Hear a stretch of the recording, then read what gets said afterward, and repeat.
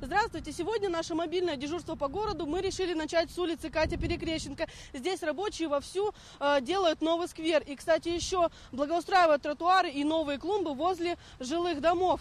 В планах также сделать ремонт асфальтового покрытия. Поэтому с 30 мая по 15 июня вот эта часть улицы Катя Перекрещенко от Дружбы народов до Северного рынка будет перекрыта. Поэтому маршруты 10, 12, 23 и другие будут ходить в объезд э, по улице Дружба народов, а возвращаться будут по открытой стороне Кати Перекрещенко. Ну а пока ремонт дороги не начался, бригады заняты тем, что устанавливают бордюрный камень, подготавливают землю для посадки цветов и укладывают брусчатку. Ну, Скоро.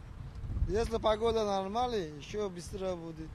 Если погода сильно не так, а что будет? Мы тоже постараемся, чтобы побыстрее